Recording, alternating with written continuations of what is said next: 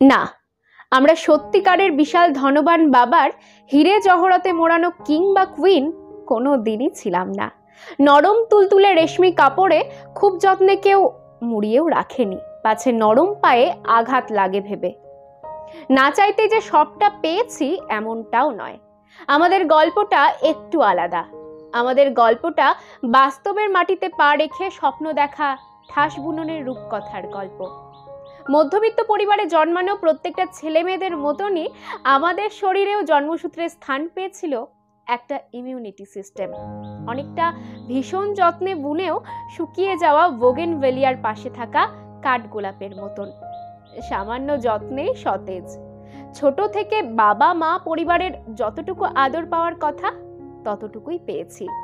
চোখের মনি বুকের হৃৎপিণ্ড আমরাও ছিলাম, আছিও।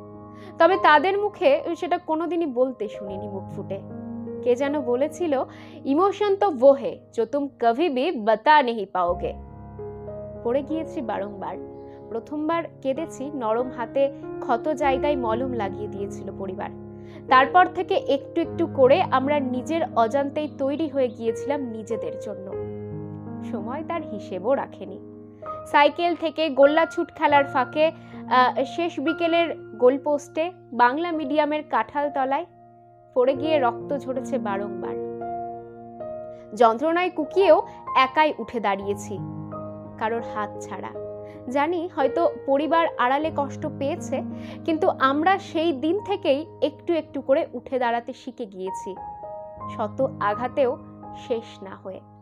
ট্যাপের জল থেকে টিউবওয়েল, মেলার জিলিপি থেকে রাস্তার খোলা তিলের খাজা। সবটা খেয়েও দাপিয়ে বেরিয়েছি পৃথিবী জুড়ে। হাইজিন নন হাইজিনের পাঠ শিখিয়েছিল কেউ সেই ছোট চাঁদের রাতে। সাথে এইটাও সবটার সাথে মানিয়ে নিতে। ফাইভ স্টার রেস্টুরেন্টের মুখ ছোটবেলা তো দূর, আজকেও দেখিনি অনেকে। জীবনের অলিতে গলিতে খুঁজে ফিরি আনন্দ। একশো বাদামে চারজন বা হয়তো চৈত্র সেলের সমুদ্র নীল জামাটা হ্যাঁ দাদা যারা কালবৈশাখী শেষে হঠাৎ আসা বৃষ্টিতেই খুশি, তাদের আর যাই হোক, জীবনে আনন্দের অভাব হয় না। বন্ধু ছিল প্রচুর ছোট গোল পাতার মতন। আজ শুনি স্টেটাস দেখে বন্ধু হয়। কি জানি স্কুলে আমার ডান পাশে যে বসতো, তার বাবার ছোট একটা মুদিখানার দোকান ছিল, শহরের শেষ প্রান্তে।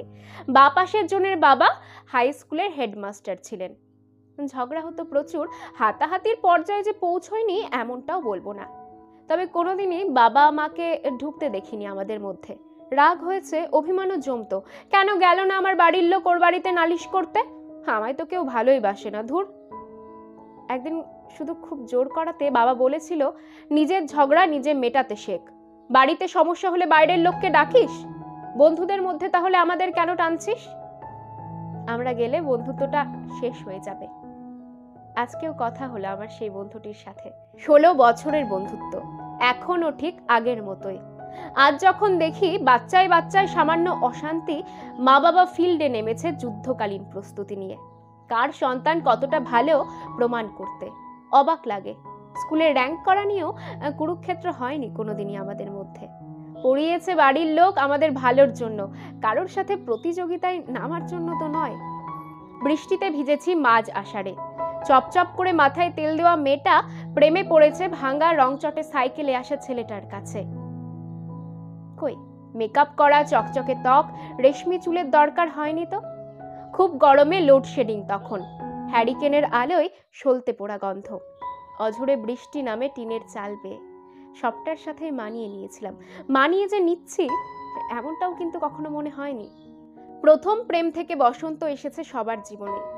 ডায়েরির বুকে থেকেছে পৃথিবীর গোলাপ। বিচ্ছেদে চোখের জল জানাজানি হলে পিঠের বেতের ঘা। মাস্টার মশাই ছিলেন রাশভারী ভূগোলের দিদিমণি শেখাতেন পৃথিবীর ফলের ঝুড়ি শাসন করার অবারিত দ্বার। কই, তাদের তো আজও দেখলে প্রণাম করতে বড় মন চায়। বারবার রাগ হয়েছে, অভিমানে বুক ভেঙেছে আটপৌড়ে মায়ের ওপর। খুব গম্ভীর বাবার ওপর। আলালের ঘরের দুলালি হতে পারলাম কই? পাপা কি পড়ি কিংবা মমস বয়? আজও লিখি না। ছোট থেকেই ভালোবাসতে শিখেছিলাম ওদের থেকে কে বলেছে কেবল মুকুট থাকলেই রাজকন্যা বা রাজপুত্র হওয়া যায়? আমার জীবনটা একটা দেশ, আর সেই দেশে আমি রাজা। না মাই লাইফ মাই রুলস বলব না, কখনোই বলব না সেটা। কখনো কখনো স্যাক্রিফাইস করতে হয় জীবনে। কখনো নত হতে হয় না চাইলেও। আক্ষেপ এতটুকুও নেই তাতে। একেই অভিযোজন বলে। তবু আজ চিৎকার করে বলতে বড় ইচ্ছে করে পরিবারকে। ধন্যবাদ। ধন্যবাদ আমাদের শৈশব থেকে কৈশোরটাকে বেড়াজালের বাইরে এতটা মুক্ত বাতাস দেওয়ার জন্য। আমার চিৎকার করে বলতে ইচ্ছে করে ধন্যবাদ আমাদের লড়াই করতে শেখানোর জন্য। না হলে কবেই বোধ হয় জীবন যুদ্ধে হেরে হাতে রেখে দিতাম বিষের শিশি। চিৎকার করে বলতে ইচ্ছে করে ধন্যবাদ। অল্পতেই খুশি হওয়ার শিক্ষা দেওয়ার জন্য। জানো, ওরা কষ্ট পায় ডিজাইনার জামার অভাবে। আর আমরা আনন্দে থাকি তিনশো টাকার জিনিস দরাদরি করে দুশোতে কিনেই। ধন্যবাদ ডাল ভাত আর বিরিয়ানির পার্থক্যটা বোঝানোর জন্য। ধন্যবাদ, এক সহস্র ধন্যবাদ। আগুনে পুড়েও ফিনিক্সের মতো ছায়ের গাদা থেকে জন্ম নিতে শেখানোর জন্য। ধন্যবাদ, বাস্তবের মাটিতে পা রেখে হাজারো রূপকথার জন্ম দেওয়ার জন্য। কলমে দেবারতী গোস্বামী কণ্ঠে আমি রিয়া দাস।